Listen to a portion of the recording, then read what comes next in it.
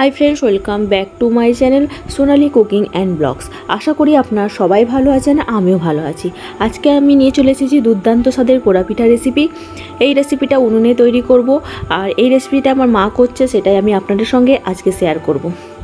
তাহলে দেখে নেওয়া যাক, আমার মা কীভাবে করছে, আমি আপনাদের সঙ্গে সব কিছুই শেয়ার করব, তার জন্য আপনাদেরকে আমার পুরো ভিডিওটা দেখতে হবে। এখানে আমি নারকেলগুলোকে ভাঙিয়ে নিয়েছি, এবার এগুলোকে আমি কুড়ে নেব।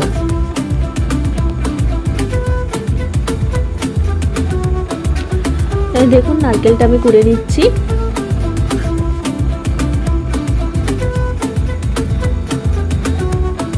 এবার আমার মা কী করেছে, একটা গামলায় করে ময়দাগুলো নিয়ে নিয়েছে আর দিচ্ছে এটা চালের গুঁড়ো। ময়দা আর চালের গুঁড়ো দিয়ে ভালোভাবে মিক্সড করে নিল।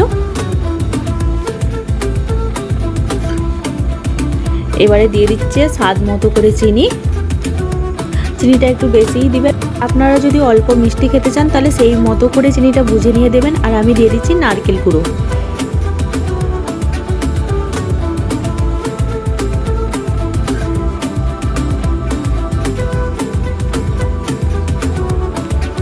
দিয়ে সব কিছুর সঙ্গে ভালোভাবে একবার মিক্সড করে নিচ্ছে।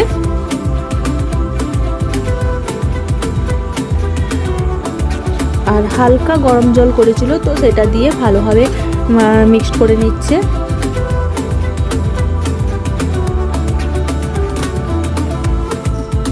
দেখুন আমার মা কীভাবে করছে, তো আমি সব কিছুই আমি আপনাদের সঙ্গে শেয়ার করছি।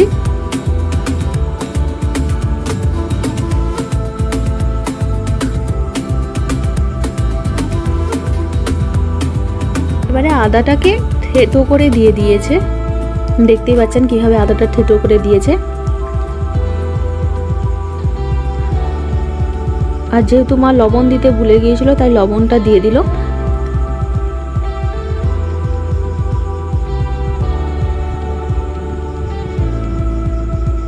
আর একটু জলটা বেশিই যাবে।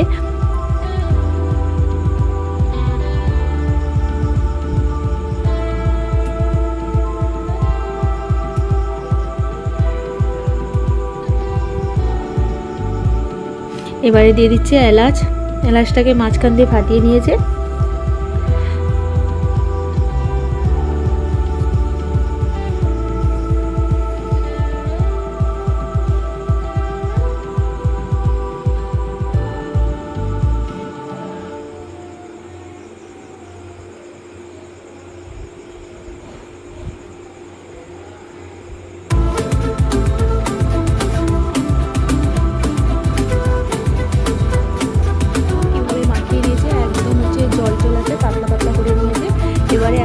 এবার একটা কড়াই নিয়েছে, তাতে কলা পাটাটা দিয়ে দিচ্ছে নিচের দিকে।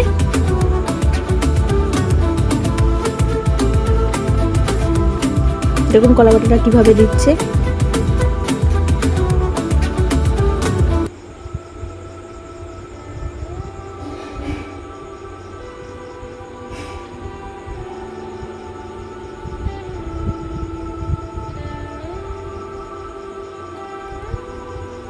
এবারে যে সব কিছু মিক্সড করে রেখেছিল সেগুলো দিয়ে দিচ্ছে।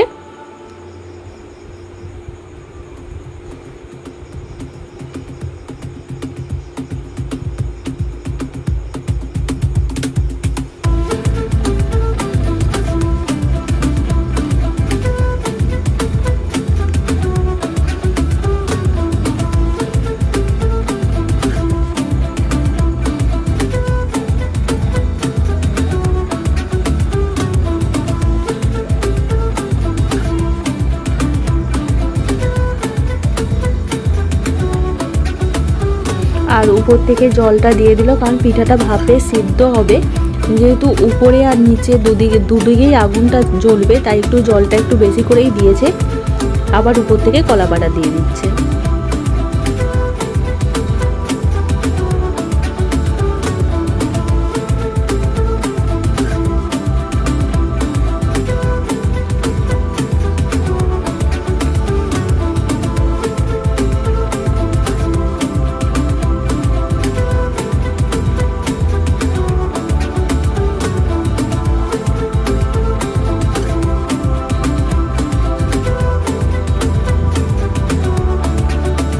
কলা বাটাগুলো দিয়ে দিল, এবারে মা কী করছে? উনুনটা ধরিয়ে দিয়েছে, আর দেখুন কলা বাটা তুলে নিচের দিকে জল দিয়ে দিচ্ছে, যেহেতু ভাপে সিদ্ধ হবে পিঠাটা, তাই আর এবারে উনুনটা ধরিয়ে দিয়েছে।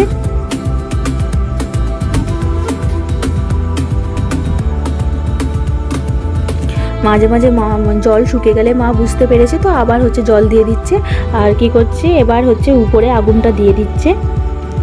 পিঠার উপরটায় আগুনটা কলা পাটার উপরে আগুনটা দিয়ে দিচ্ছে, আগুনটা ধরিয়ে দিল। এবারে দুদিকেই আর নিচেও আগুন জ্বলবে, উপরেও আগুন জ্বলবে, তো দুদিকেই হচ্ছে পিঠাটা সিদ্ধ হবে। আর পিঠাটা সিদ্ধ হতে টাইম লাগে দু থেকে তিন ঘণ্টা। তো এইভাবেই হবে, দু তিন ঘণ্টা পরে মা কী করে পিঠাটা নামিয়ে নেবে? দেখুন, নিচেও আগুন জ্বলছে আর উপরেও আগুন জ্বলছে। এখন পিঠাটা মনে হয় অনেকটাই সিদ্ধ হয়ে এসেছে আর আগুনটা অনেকটাই কমে গিয়েছে। আর নিচের আগুনটা মা কী করেছে? বন্ধ করে দিয়েছে। আর উপরে যে আগুনটা আছে, ওটার ভাবেই সিদ্ধটা হয়ে যাবে পিঠাটা। পিঠাটা সিদ্ধই হয়ে গেছে, এবার মা একটু চেক করে নেবে। হয়েছে কি না চেক করে নিচ্ছে।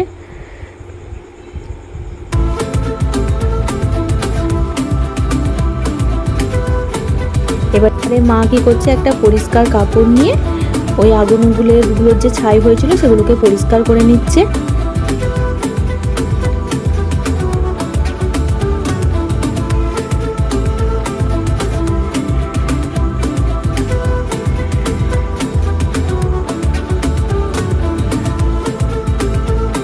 দেখুন, পিঠাটা কতটা সুন্দর, ভালোভাবে সিদ্ধ হয়েছে আর কতটা সুন্দর হয়েছে দেখেই আপনারা বুঝতে পেরেছেন। আমি আপনাদের সঙ্গে প্রথম থেকে লাস্ট পর্যন্ত সব কিছুই শেয়ার করেছি। দেখুন খুব সুন্দর, ভালো করে সেদ্ধ হয়েছে। আর খেতেও কিন্তু অসাধারণ হয়েছিল, ভীষণ টেস্টি হয়েছিল। আর আমি টিপে আপনাদেরকে একটু দেখিয়ে দিচ্ছি, দেখুন কতটা সুন্দরভাবে সিদ্ধ হয়েছে। এবারে আমি আপনাদেরকে কেটে দেখাবো। আমি পিঠাটা কেটে নিয়েছি, দেখুন কতটা সুন্দর হয়েছে আর খেতেও কিন্তু দারুণ হয়েছিল। আমার আজকের এই ভিডিও আমার মায়ের হাতের রেসিপি কেমন লেগেছে অবশ্যই কিন্তু আমাকে একটা কমেন্ট করে জানাবেন। আর আমার এই ভিডিও যদি ভালো লেগে থাকে, তাহলে প্লিজ একটা লাইক শেয়ার অ্যান্ড সাবস্ক্রাইব করে দেবেন।